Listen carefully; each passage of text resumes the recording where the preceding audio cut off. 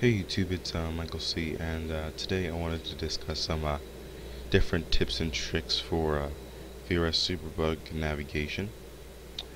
And uh, I just wanted to start out on the navigation screen, and on the navigation screen, I know it's nighttime, so uh, forgive me for the surrounding, but I just came back, I'm returning to the carrier from an actual mission that I created.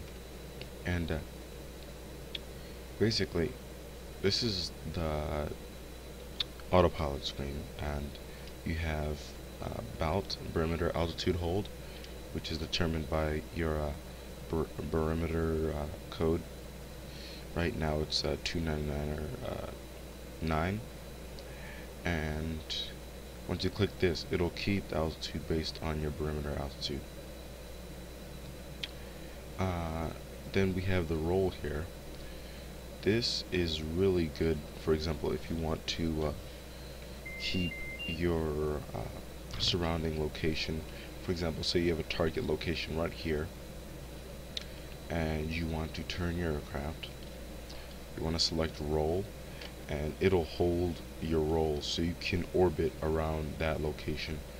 Uh, for example if, it, if you were uh, doing CAS or SEAD and you wanted to keep an eye on the location which you were doing. Then you have the G-track which is another form of uh, holding a heading location.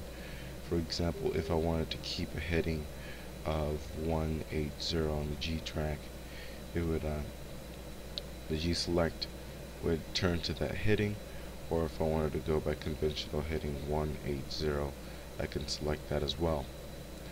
Uh, you can change from magnitudinal heading and uh, track heading from true heading from the data menu of the HSI true and magnitude you can change from there and it'll also correspond with the heading indication on your heads-up display. It'll say right there. Once that's done you get to click back onto the HSI and uh, I'll continue on with my flight plan but overall, that's pretty much part of the autopilot procedure. Now as you can see I had the FPAW selected flight path hold. So basically this will currently hold any flight path that I'm on. For example, I decided to turn to uh, waypoint 2. It's already holding that and I'm not touching the throttle, um, uh, the joystick right now.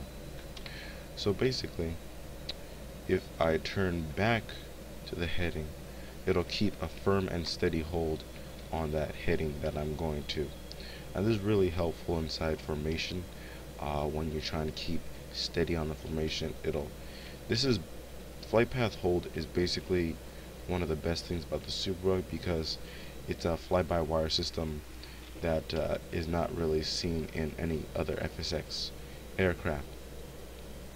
Uh, there's one more form of uh, autopilot that I can show to you right now which is only uh, useful under 8,000 feet, is the radar alt.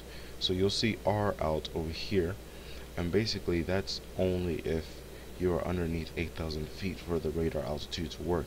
For example, if you're doing a low pass run and you have a lot of mountainous regions and you want to stay absolutely about 5,000 feet above the ground, even if the ground uh, in terrain, you will still stay 5,000 feet from the ground.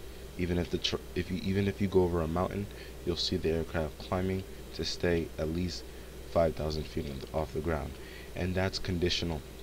And it, it uh, all altitudes from zero to 8,000 feet, and uh, you also uh, it would you can't type in the altitude that you want to actually configure and here you have to actually be at that altitude for example I'm at BALT Hold at 16,000 feet roughly.